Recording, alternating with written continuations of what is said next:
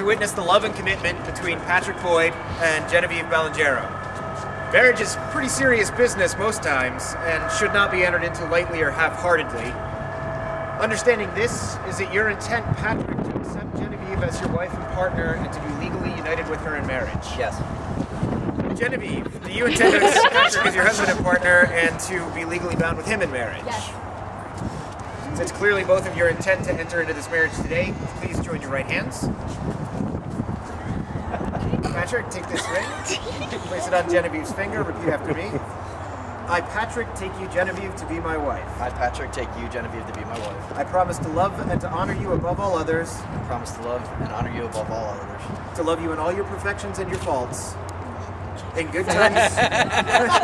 Come on, that's part of the deal. To love you in all your perfections and faults, In good times and bad. in good times and bad, To meet life's challenges together from today forward. To meet and to meet life challenges from Today, together. from today forward. from today forward. Genevieve, please take this finger, place it on Patrick's finger. Yeah, that's cool.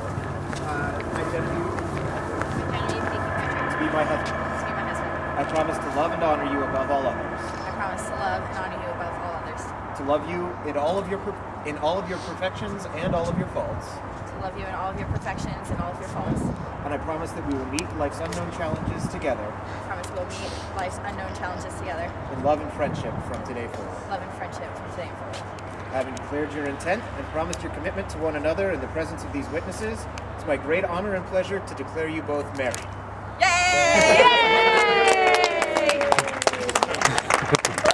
First married couple, Patrick and Genevieve Boyd. Hey!